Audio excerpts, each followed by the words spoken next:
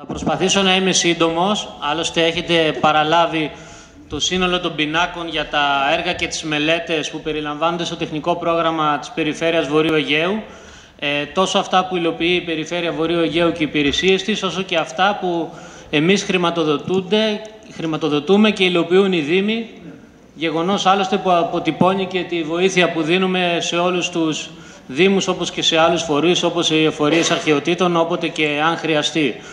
Ε, οι πίνακες περιλαμβάνουν ε, αυτή τη φορά, είναι πλήρως αναλυτικοί και τα έργα του ΕΣΠΑ, αλλά και αναλυτικούς πίνακες με τις χρηματοδοτήσεις από τους... Υπάρχει πρόβλημα στον ήχο, δεν ακούγεται καλά ο κύριος Χριστόφας. Όσοι μιλάτε από την αίθουσα, για κάποιο λόγο υπάρχει πρόβλημα στον ήχο, ας το φτιάξετε.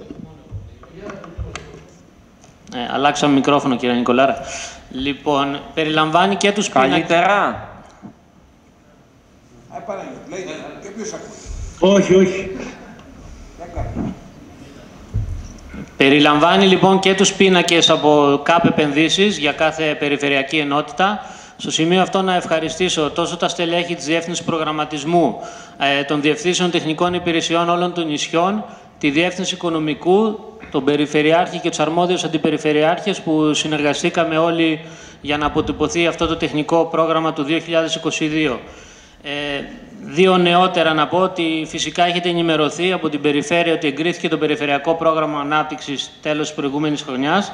Ε, στην ουσία αυτή την περίοδο ενημερώνουμε το νέο πληροφοριακό σύστημα που έχει δημιουργηθεί και είναι στα πρότυπα του πληροφοριακού συστήματος του ΕΣΠΑ. Μετά την πλήρη ενεργοποίησή του, το αμέσως επόμενο διάστημα, ε, εμείς, όπως και οι άλλες περιφέρειες στην υπόλοιπη Ελλάδα, θα έχουμε ευκαιρίες για νέες εντάξεις έργων και προσκλήσεις όπως και πολλές φορές έχουμε πει. Ε, και αναμένουμε και την έγκριση του ΕΣΠΑ το πρώτο εξάμεινο του 2022 με σκοπό προς το φθινόπωρο του 2022 να μπορέσουμε να βγάλουμε τις πρώτες προσκλήσεις και εκεί θα υπάρχει δυνατότητα για νέες εντάξεις έργων. Δύο οικονομικά στοιχεία. Η απορρόφηση των πόρων έφτασε στα 18,2 εκατομμύρια ευρώ για το 2021, αυξημένη από τις προηγούμενες χρονιές ενώ το ίδιο για το ΕΣΠΑ ε, ξεπεράσαμε τα 60 εκατομμύρια ευρώ, σχεδόν διπλάσια από το προηγούμενο έτος. Να αναφέρω ενδεικτικά κάποια έργα που εντάσσονται σήμερα με την τροποποίηση του ΓΚΑΠ και τα έχετε στην εισήγησή σας. Ε, να ξεκινήσω από, το, από τον Άπη Πελόπη, προϋπολογισμού 5.200.000 ευρώ.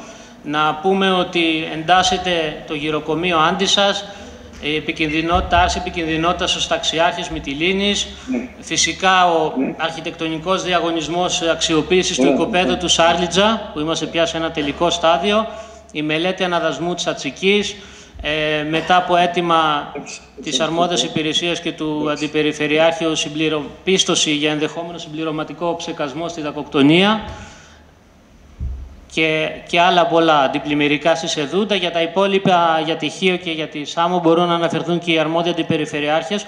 Να προσθέσω κάτι σε σχέση με την εισήγηση, θα ήθελα, ότι στο έργο εργασίες αποτροπής απόθεσης φερτών υλικών επί υπαρχιακού οδικού δικτύου σε οδικές προσβάσεις, εκ παραδρομής ο προϋπολογισμός... το μικρόφωνο.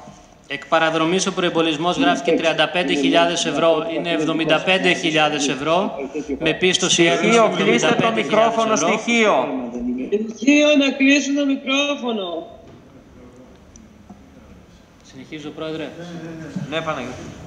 Προστίθεται στις ΚΑΠ επενδύσεις, έπειτα από έγγραφο που ήρθε πριν από λίγο από τη Διεύθυνση Τεχνικών Έργων, ένα έργο τυχείου αντιστήριξης αύλιου χώρου Ιερού Ναού Αγίας Βαρβάρας Παμφύλων, προϋπολογισμού 30.000 ευρώ και πίστοση έτους 10.000 ευρώ. Και πάντα συνεχίζουμε για τη Λέσβο ένα αίτημα από τη Διεύθυνση των Μεταφορών, τον αρμόδιο του Περιφερειάρχη, του Γενικό Διευθυντή, Υπηρεσία Κατάρτισης και Τήρησης Ψηφιακού Μητρώου, Πρατηρίων Διάθεσης Καυσίμων σε τροχοφόρα οχήματα και συνεργείων επισκευής και συντήρησης οχημάτων ΠΕ Λέσβου, προϋπολογισμού 35.100 ευρώ, πίστοση για το 2022 18.000.